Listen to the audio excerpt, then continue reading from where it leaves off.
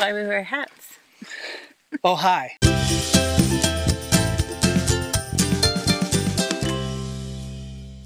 This week we are finally starting our earth bag solar shed thing. This week we are finally starting the first course on our solar shed. Wake up slowly, still and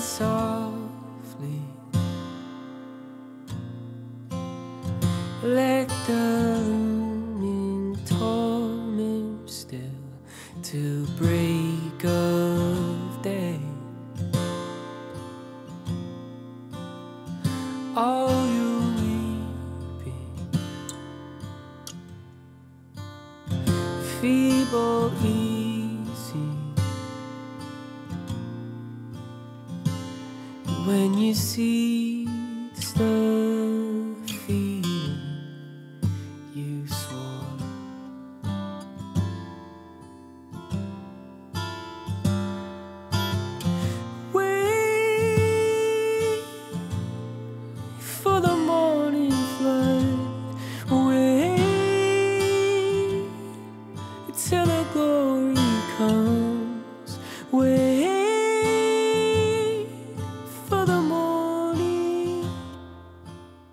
This was our first time laying earth bags. So we are going to show you things that we should not have done, hmm. things that we did right, hmm. and things that what else was it? so we are here to tell you things that we did right and things we did not do right. There's a few of those for sure. All right, let's. What do we start with? How important it is to have an order and a system. It helps that we have six people. It's true. Let me tell you, everybody kind of has their job, although they still fight over those jobs. But everybody kind of figured out like each piece of the puzzle, which was really cool. And trust me, if we only had the two of us, it would have taken a lot longer, Yeah. I think. Yeah. For sure. We finally got all the Rubble Trench stuff leveled out. We finally got all of our prep work done. So now we get to start laying the bags. Our first course of the Solar Shed Earth Bag build starts now.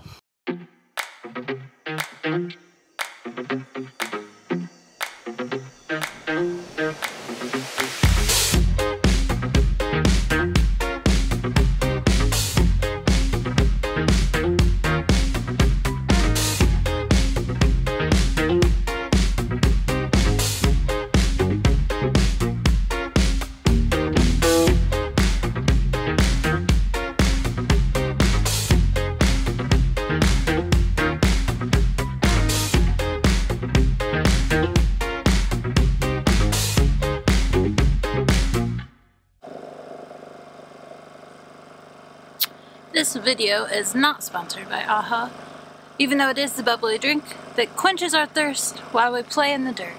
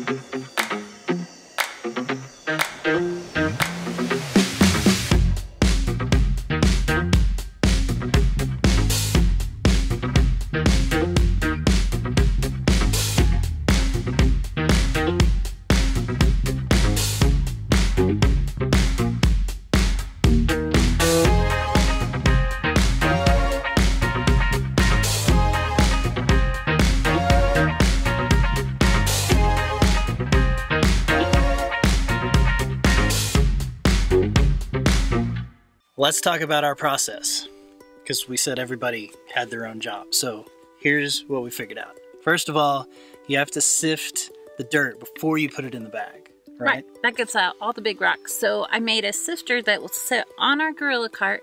It's just quarter inch screen sandwiched between some 2x4s. And the cool thing is, is the kids can come out and do that during the day, during the week when we're not actually working on that. That way we have a big pile of sifted dirt that's already ready to go. Having two carts has been a time saver. We have a Gorilla cart that's like seven cubic feet, but we also have a wheelbarrow. Yeah.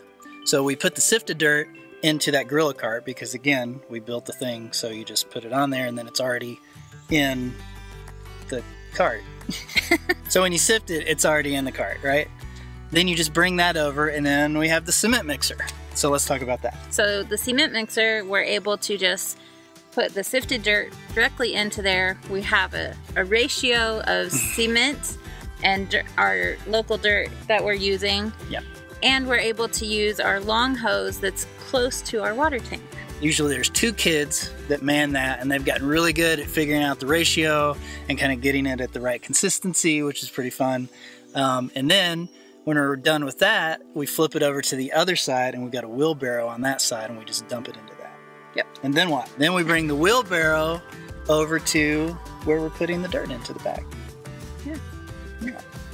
so we are still working on our dolly slash cart, but we did already build the bucket part of it. And so technically we're still kind of below ground and the dolly doesn't really fit, but we are using the actual bucket, which is two five gallon buckets that we kind of cut and we put together so that we can we can scrunch up that bag on the bottom of it and then tighten it up with some elastic and then that way it makes it really easy when you have somebody who holds that the bucket and you have other people who are dumping the dirt in there and then you can just kind of shake it and get it filled in Yeah, once it gets heavy enough, the bag will drop. it starts to release yeah it yeah. starts to release itself from the elastic so it's a pretty good system like Mm-hmm. once we really got going we went pretty fast i think the hardest part is getting that consistency right Mm-hmm. and making sure that's not too wet because we we did one that was like way too wet and it, kind of messed us up because we couldn't get it tamped down and then some of them were too dry and then it was coming out the holes in the bag so I think we've got it figured out now. yeah We ended up with two kids manning the cement mixer, Yep. one person holding the bucket, two people filling the bucket, and one person watching the dog.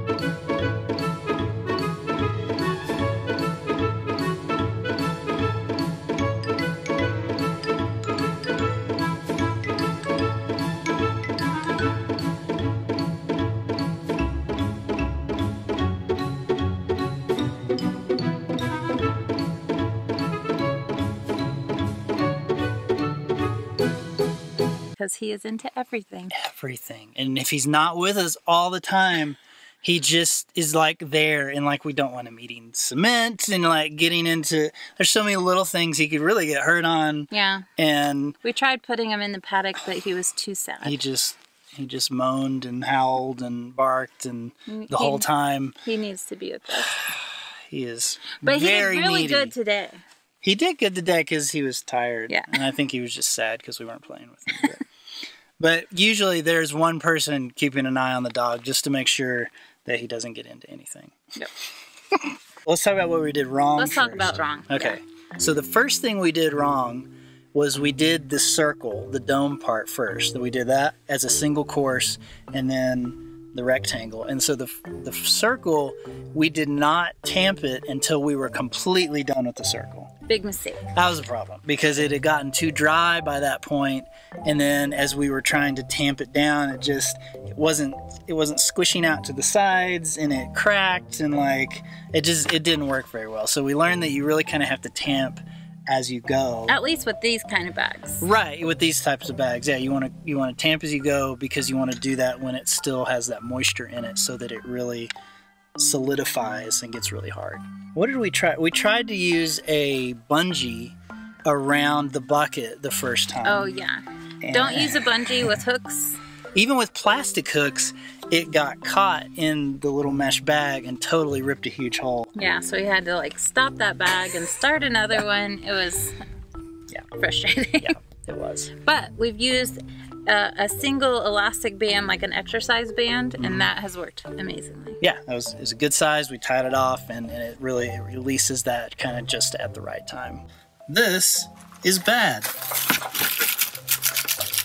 This is good. Bad. Good. Bad. Good. So, what did we do right? We got the mixture right Mm-hmm. because the kids are awesome.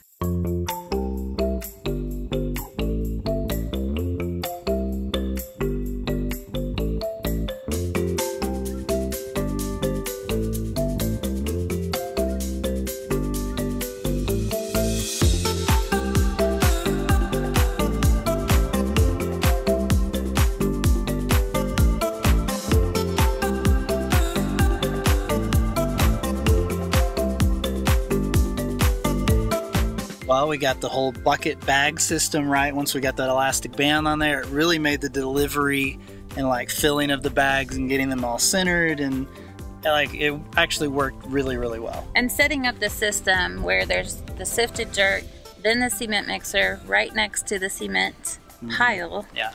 has been a lifesaver. Yeah, the cement mixer has been awesome because the kids are able to fill it on one side and then they flip it over and then we fill the wheelbarrow on the other side and we have kind of a good system going. That is it. We got the first course done.